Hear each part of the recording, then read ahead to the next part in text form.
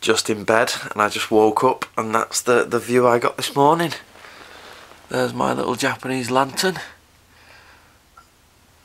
And there's also snowing galore my garden.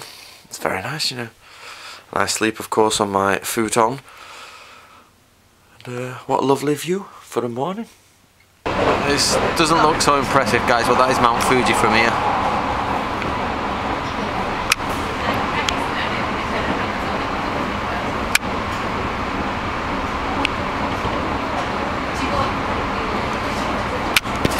I've been trying to that for about half an hour. Yoshi's fault. Right guys, if you don't know, we're in um, Hojo territory. That's the new Hojo clan, the one from the Sengoku period or the later Sengoku period. We finished in the just before the Edo period. So um, this is where their uh, domain was. Not that wall though.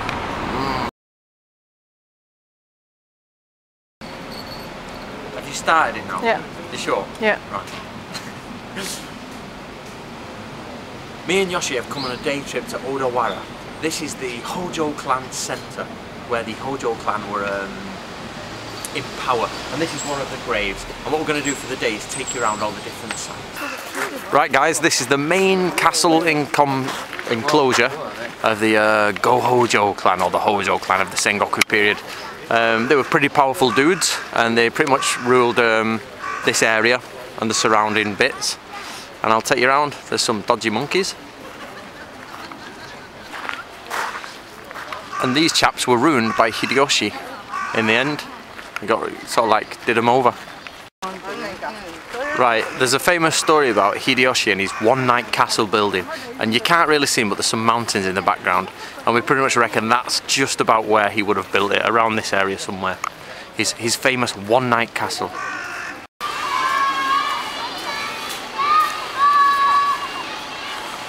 That is the sound of Japanese school children.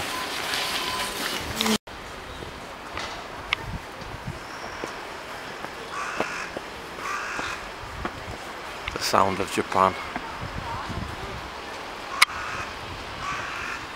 Those who remember Stephen's video on um, telescopes, there's one from 1613 from Tokugawa Ieyasu.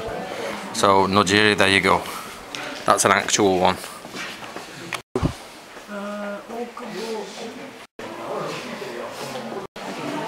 You don't know.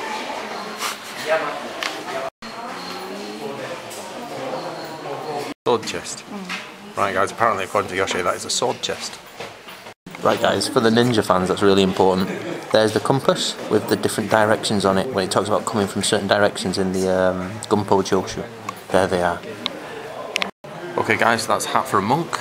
That's hat for a samurai. That's a hat for a like a headman of a village, not a samurai but not a peasant and there's the yatate, the ink and brush. One day I'm going to make a model like that. One day, when I get time.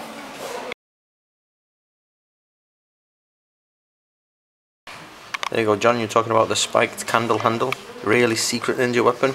There it is, not at all. It's just for holding candles. Ah, and here we go guys. There's this Gando lantern old school burglar things. We all like that one. Back in the Togakure days.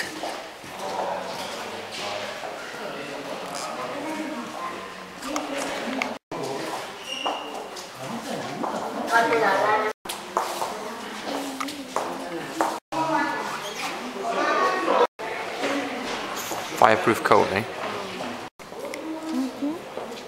Just want to say something guys. Everybody like when they pick up a weapon a modern one they think it's you know pretty dangerous. Actual weapons are really heavy duty and they're really really I don't know they've got that solid feel to them.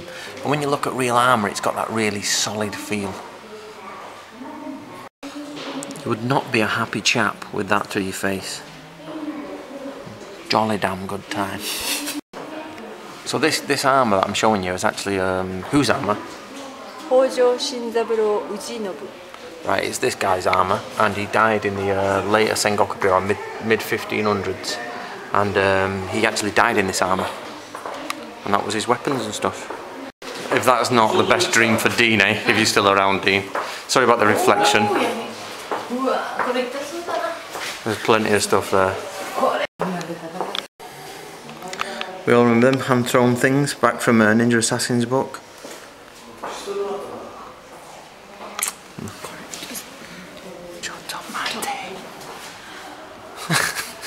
Look at that, you want that in your gut. Not after breakfast anyway. And again, some decent spikes. Yoshi is trying to tell me something, but she gets angry when the voice goes on the video, so I have to wait for it to. For all those Nawa fans, the Nawa author, that gauntlet was actually donated by Nawa himself. So for the Nawa fans, for those who get off on guns,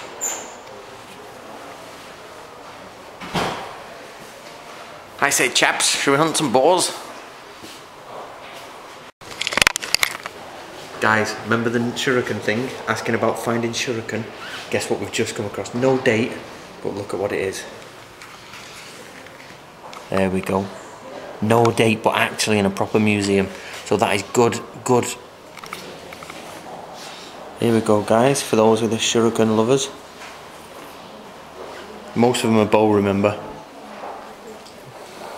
Right guys, just had to read of the information. It apparently was found in a mansion it's really rare. They even they've put it as Ninja Star. Another one there, the Jew Shuriken, even as Ninja Star.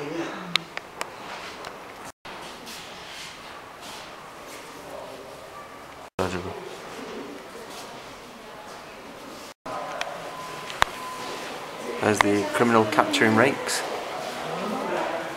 Fireman's helmets. I know Steve like the fireman's helmets.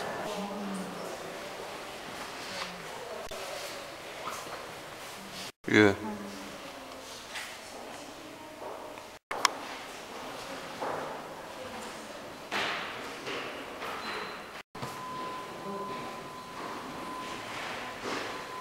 I don't know about you, but I actually find sword blades a bit boring actually.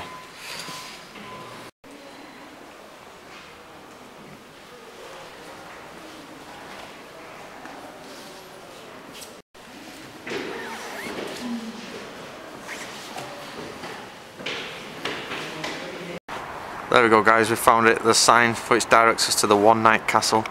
You can't really see this on the camera but it's absolutely superb.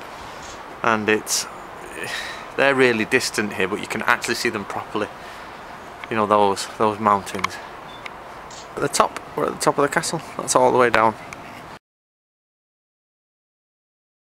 Oh my god, Yoshi has the finger of a gimp on, off, on. Guys, for those who are interested in the ninja side of it, um, Fuma Kotaro, yeah, he, the, the legendary ninja of the Hojo clan, we don't know whether he was actually real or not. It seems he was, but uh, obviously legends say he was some sort of demon. We don't know how much he was real. He's in the Shoninki, blah, blah, blah. But this is the castle where his lord would have been, and he was um, retained by this lord. And those mountains there are pretty much probably his territory and where his, uh, were they Rappa or Suppa? I can't remember. Rappa. Rappa. They were his Rappa were um, or shinobi were actually active in this area. So that's a bit of actually putting a reality to uh, the things you read in the Shoninki, in the True Ninja. Strange mountains there. Hakone. Mm. Lots of people having baths up there. Right guys, if you want to be a ninja, you've got to climb all the way up there. Remember, using your kogai, in you go. Up to the window, over the top, or climb through the window, climb around the edges, and get in somewhere. That's pretty much your job. Just so you know, you see this, this is a main gate and you see those which are now covered in their gun ports. This area was so you could get peppered with arrows as everybody tried to come and you just get launched and killed and they throw rubbish on you. Also I'd like to point out that big tree there is supported just in case it falls down because it's pretty big. Okay, that's the end of our day with the Hojo clan and we're here now just for Japanese food and um, that's the end of the video so I hope you enjoyed it go and have a look at Go Hojo and see what they did in history and see how they fell